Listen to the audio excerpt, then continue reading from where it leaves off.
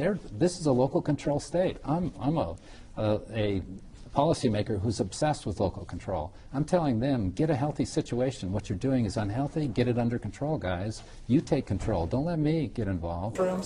making heroes of Che Guevara and vilifying our founding fathers is not acceptable. We, with your help, in November, we can take back this nation, we will keep this state, we will take back our schools. On to victory! And how does this fit in with your idea of local control? I mean, this is a state imposing its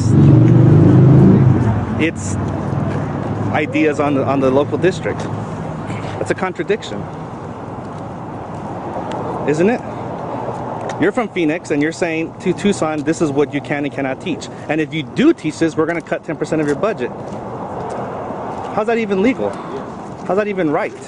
Engaged. I was listening to your ad today, and it says that you're going to stand up against La Raza. What do you mean by standing up against La Raza? Well, it, it is the concept, two concepts. One, that in a, in a class that our founding fathers should ever be disparaged. There's two concepts behind that. The, uh, the, our founding fathers brought all the freedoms that have enabled all the prosperity that's created the culture that we have in America. Even Jefferson, who owned slaves, Even Jefferson, who owned, owned slaves. how's that freedom?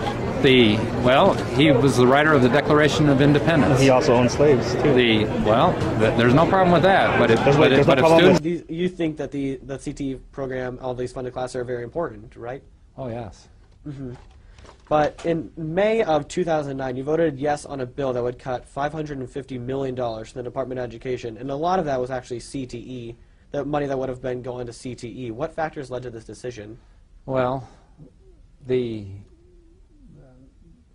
tell me a little bit more about that vote. What committee did it take place in? I actually have that right here. This was ah, right here.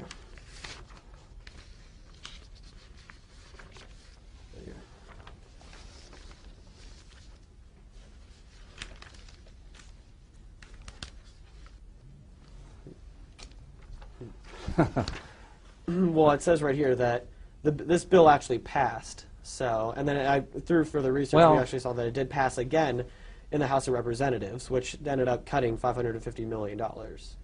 Well, you know, I don't know the specific vote that you're talking about there. So, was was that whole what you look at there is that is that something But you're not giving any be proud examples. of? I'm proud of it. Are you guys proud of it? Yes. I'm proud. Well, And, and this is our those- this is our town. This is our district. Well, You're imposing your will on our district. this